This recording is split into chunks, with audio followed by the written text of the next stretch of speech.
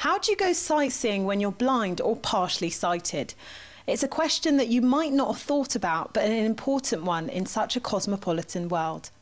Well, Dinka, a guide dog from Israel, is changing the way we look at international travel for blind people.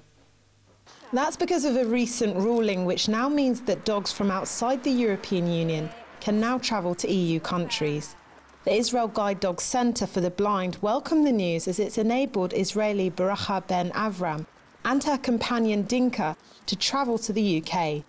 Anthony Krais chairman of the British Friends of the Israel Guide Dog Centre, which helps to raise funds for the dog centre in Israel, is delighted with the ruling.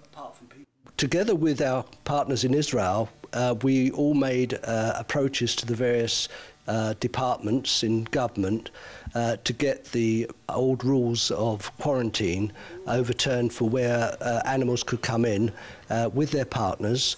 And so long as they had the right medical certificates and the passporting uh, we worked for a long time in order to do it. And fortunately, uh, with Dinka and Bracha coming here this week, we've been successful with the first time an animal has come, certainly a, a dog has come uh, from Israel, and we believe actually from other countries outside of the European Union. Bracha and Dinka have been companions since October 2012 and are visiting the UK for a week. Together, they've been able to travel independently. All Dinka has to do is to walk a route once and she'll have it memorized. So uh, we've now walked the route from the hotel to the apartment where we're, we're sitting now for this interview.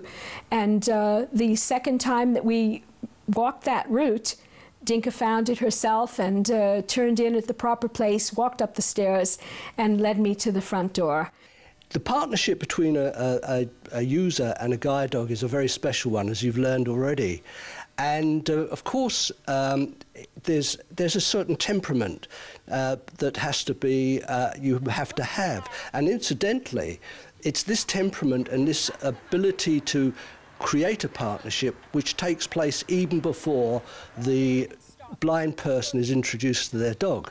So, for example, you've got to be strong, and if you're strong and and and uh, very active, you get a strong dog who's very active. If you're somebody who cannot be quite as active, then the dog will be a more placid and, and more relaxed uh, dog.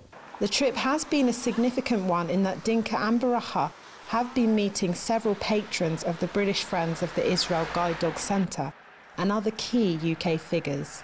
We met with, uh, with Rabbi Mirvis, who is going to be your new chief rabbi here in the UK.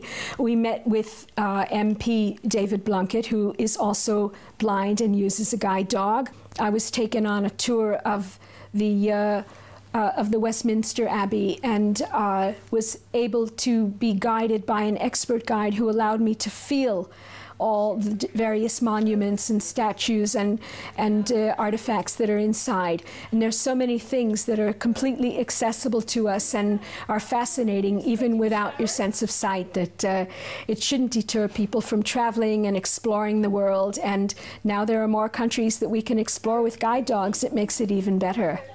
For more information on the Guide Dog Centre, go to israelguidedog.org.uk. So the trip has been a success for the Israel Guide Dog Centre and its British friends.